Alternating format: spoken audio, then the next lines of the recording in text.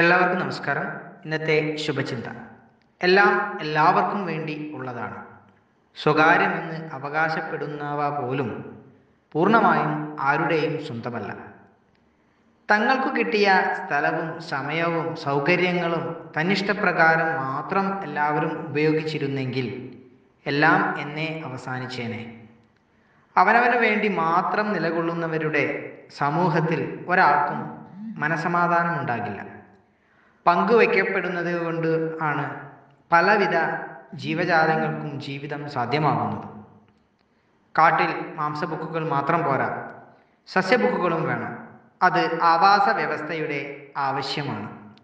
രാത്രി മാത്രമല്ല പകലും വേണം. അത് പ്രകൃതി നിയമമാണ്. വ്യത്യസ്ത കഴിവുകളും ഇഷ്ടങ്ങളുമുള്ള മനുഷ്യരുണ്ട്. അത് സാമൂഹിക യാഥാർത്ഥ്യമാണ്.